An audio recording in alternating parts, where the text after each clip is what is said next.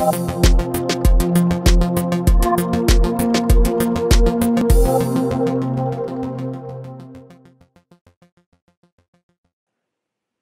this tutorial, we're going to cover what properties are and how they can be used. As you can see, I've already switched my screen layout to Game Logic. At the bottom left, we have a Properties panel in the Logic Editor window. Let's go ahead and add a game property to the default cube. Now, properties are essentially variables that are attached to specific objects.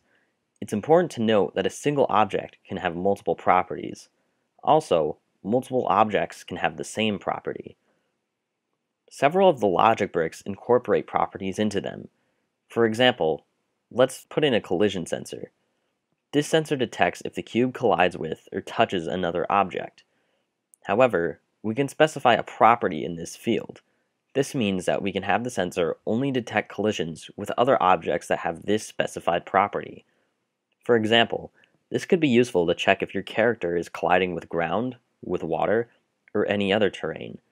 You can differentiate the different types of terrain with different properties. Each property has a name and a value. The name specifies the callable name of the property. The value is the data that the property holds.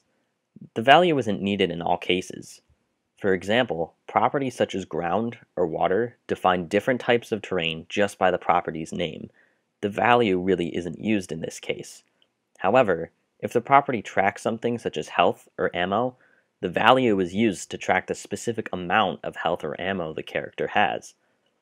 The value of a property can be one of five types. Timer, which is a number that constantly counts up. String, a string of text. Float, a number with decimals.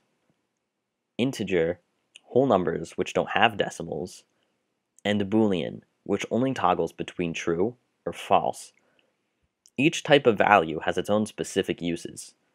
Referring to the examples we used before, properties such as health or ammo would need an integer value, since they are tracked with whole numbers and not decimals.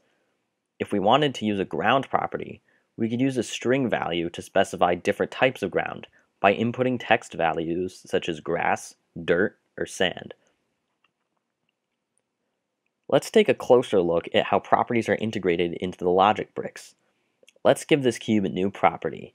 I'll name it health and give it an integer value of 5. Let's make it so that every time we press the spacebar, it detects one point of health. First, let's add a keyboard sensor and bind it to the spacebar. We also want to make sure we activate tap. Without it, health will continuously be deducted as long as the key is held down, which we don't want in this case. We only want it to happen once when we press the key. That's what the tap feature does. It only sends one positive signal every time the key is pressed. Next, we'll add a property actuator. This can be used to manipulate the value of a property in a couple different ways. For our purposes, we'll choose Add, select health as a property to affect, and we'll plug in negative 1 for the amount, since we want to subtract health. Now, as I run the game engine and press the spacebar, there isn't any visual indication of what the health property is. To fix this, we can set the property to display as debug information. To do this, find the property in the logic editor window, hit the I button, then go up to Game and select Show Debug Properties. Now when I run the game, you can see cube.health equals 5 in the top left corner. This way we can track what the property is while the game is running. Now, let's make it so that when the health property reaches 0, we'll delete the cube from the game. Add a property actuator to the cube. We'll select equal, health for the property, and enter 0 for the value. This means that the sensor will send a positive signal once the value of the health property is equal to zero. To delete the cube in the game, add an Edit Object actuator and select End Object from the dropdown. So let's go ahead and test this out. Each time I hit the spacebar, the health property goes down by 1, and when it hits 0, it deletes the cube from the game.